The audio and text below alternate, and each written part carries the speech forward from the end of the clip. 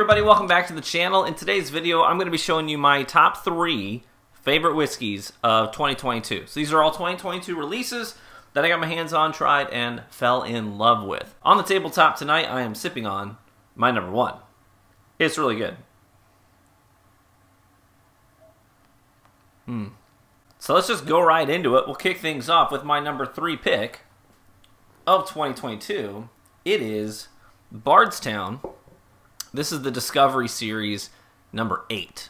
Now, one of the things I love about Bardstown is their labeling is seriously top notch. It's next to none. I don't know anybody that does labeling as well as Bardstown. So their bottling is really cool. It looks nice, looks clean. But the thing that I love about it, and I'll, I'll be sure to have some B-roll footage of this to show it to you up close. But on the label, they tell you everything that's in here. They tell you all four of the whiskeys, the mash bill on every one of those whiskeys, how old each one of those whiskeys is, where it came from, everything you could possibly want to know, they put on the label so you know exactly what you're getting every time.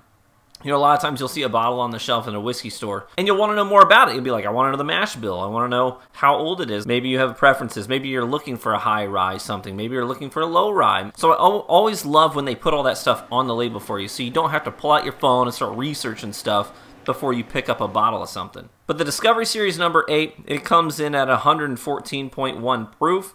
66% of the whiskey that's in this bottle is from Kentucky. It's aged 12 years. It's a high corn mash, so it's 78% corn, 10% rye, 12% malted barley, which is a high uh, barley percentage there. And then 17% of it is a seven year old Indiana whiskey that is a rye whiskey. So it's 51% rye, the minimum requirement for it to be called a rye, 45% corn, 4% malted barley. Then you've got 11% of what's in here is a 12 year from Canada that is 100% corn, all corn. And then 6% is a six year uh, rye, 95% rye, 5% malted barley. So everything you want to know, all, every whiskey that's in here is labeled clearly for you. And so they're picking these for this blend to make a whiskey that has a very unique flavor profile. And I think they nailed it with uh, this bar. It's not what's in my glass. I was about to sip on it and give you tasting notes, but that's not what's in here. But this whiskey is delicious. Uh, you definitely get some of that rye that comes through. The rye that's in here is a seven-year rye. You know, it's been mellowed, it's been matured. The youngest thing in here is six years old, and that's a full 95% rye mash bill rye.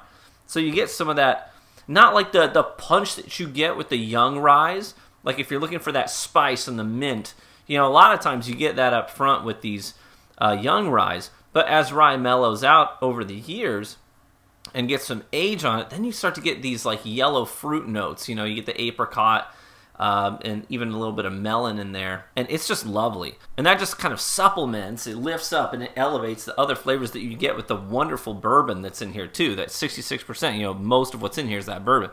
Uh, that very old, by the way, bourbon, a 12-year-old bourbon from Kentucky. So it, that's that's the thing I really loved about this was having those older, mellowed out rye flavors there as a supporting cast to elevate a bourbon. That's something I don't see a lot, and that's why this one really stood out to me and just tasted phenomenal. Bardstown Discovery Series 8. That is my number 3. Oh, I should mention MSRP for this. Um, you're probably looking at, what, like around 140 bucks, something like that off the top of my head, for Bardstown Discovery Series 8. So that's kind of around the price point you're going to find at about 140. Next up on the list is something that doesn't cost as much, but I think kind of edged it, it kind of edged it out for me, which surprised me because I don't tend to be a huge Elijah Craig fan. But the barrel proof Elijah Craig batch C9 2022 this blew me away. I had the other batches as well, and they were more or less what I come to expect from Elijah Craig. I, like I said, I don't tend to be a huge Elijah Craig fan. I, it tends to have sort of a, a musty kind of aftertaste to me with Elijah Craig, personal preference, that I don't care for. But the C922, it seems to it doesn't get rid of that. It actually kind of makes that mustiness a little bit more, I don't know, palatable for some reason. Almost like it's it's elevate. It's found a way to take that flavor and actually make it enjoyable to my palate. So it's not that same sort of dry tannic dustiness that I get on uh, you know the standard small batch of Elijah Craig or something like that. You know, I grew up in the middle of Indiana in farm country, and uh, one of my best friends at the time they they raised corn uh, on their farm, And so this reminds me of when you know harvest season would come around, and there would just be whole just vats of whole corn, whole kernel, dusty corn, and the smell you would get off of that. That's what this reminded me of, and it obviously ties in a lot of those quintessential bourbon flavors, those caramels, those butterscotches, and vanillas, and it was just absolutely delightful. So that's why this one stood out to me. C922. It was the way that the dusty corn kind of came and elevated itself to interact and mingle with those quintessential bourbon flavors that made this one just absolutely stand out to me, and I loved it, loved it, loved it. So my second place, Elijah Craig Barrel Proof Batch C922. It is a uh, 128 or 124.8 proof, and it is fantastic. And I should also mention it has a 12 year old age statement on it. Uh, also, uh, this I think I paid around a hundred for this, about a hundred bucks, so cheaper than Bardstown but edged it out a little bit for me personally. Both fantastic. And my number one 2022 release, Calumet 16. Okay, so this is the second year that they've done the Calumet 16, and uh, they've updated the labeling. And I gotta say, the bottling on this is just it's fantastic. So the the label is that black and gold, absolutely beautiful the uh, the whiskey in here has this absolute. It's just so beautiful. The color on it, that deep, rich reddish brown, almost makes you think of like maraschino cherries, you know, in their juices. Just a beautiful, beautiful coppery bronze color on that, and that is what I'm sipping on tonight too. So the Calumet 16, interesting. They uh, don't disclose where they get these barrels from, but they have bought whiskey, they say, uh, that has been distilled and aged in Bardstown. So that most people just assume that it is from Bardstown, uh, the, the actual distillate. But it comes from a fairly limited batch. It's uh, 19 barrels, so it's not a big batch size, you know, 100 barrels or whatever. It's 106 proof. It comes with a nice little history backstory. You know, it's sort of in honor of a horse that won 16 races in a row and this is 16 year old whiskey.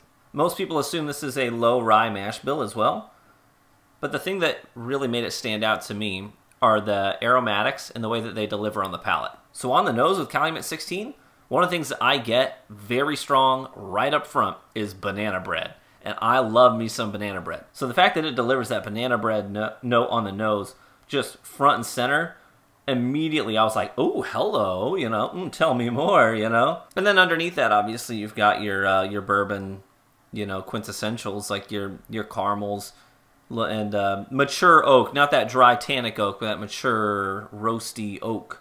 But it's just banana, so much banana on this, and a little bit of like tobacco leaf as well, a little bit of that like tobacco leaf kind of a vibe too, and leather, like like a, like a well worn in uh, baseball glove. I know it's a weird thing to say, but I love it.